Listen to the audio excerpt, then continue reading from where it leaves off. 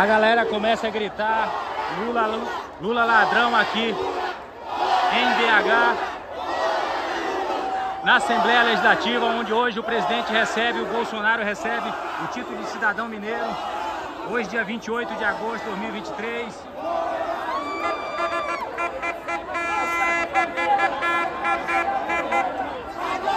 Bandeira jamais será vermelha. A nossa bandeira jamais será vermelha.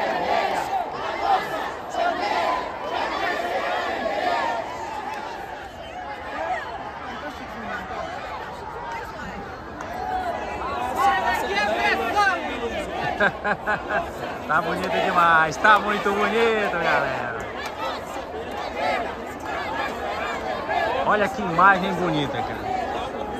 A gente veio de Brasília para cobrir esse movimento único, né, onde o presidente Bolsonaro recebe o título de cidadão mineiro, comedor de pão de queijo aqui de Minas Gerais, aqui em BH.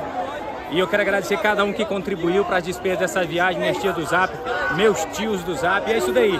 E agora a gente está na frente da Câmara Legislativa e a galera tá mandando aí, ó. Fora Lula, aqui, ó, na frente da Câmara Legislativa. É isso daí.